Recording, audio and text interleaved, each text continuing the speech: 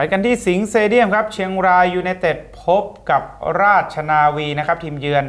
ถ้าหากว่าเกมนัดนี้ไม่มีคะแนนน่าจะเป็นทางการที่จะหล่นไปเล่นลีกรองนะครับ ขณะที่เจ้าบ้านเพิ่งล้าจากเกม 120 นาทีในฟุตบอลลีกในวันพุธที่ผ่านมา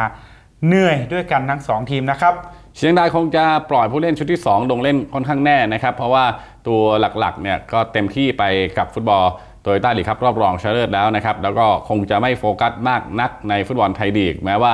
ลึกๆ ก็อยากจะได้อันดับดีๆเหมือนกันนะครับ แต่เมื่อสถานการณ์เป็นแบบนี้ก็คงต้องเลือกสักถ้วยหนึ่งขณะที่ราชนาวีมาลุยมาเล่นเต็มที่แน่นอนนะครับ แต่ว่าราชนาวีก็มีปัญหาเวลาที่ออกไปเยือนคู่ต่อสู้มักจะทำผลงานได้ไม่ค่อยดี แต่ยังไงก็ตามนัดนี้เชื่อในเรื่องของหัวจิตหัวใจของราชนาวีว่ามีโอกาสที่จะแบ่งคะแนนจากเชียงรายได้ครับ